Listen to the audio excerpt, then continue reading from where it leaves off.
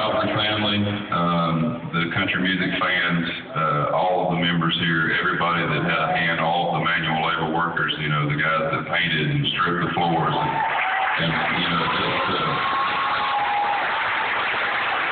completely refurbished this place and put it back together, all the king horses and all the king's men.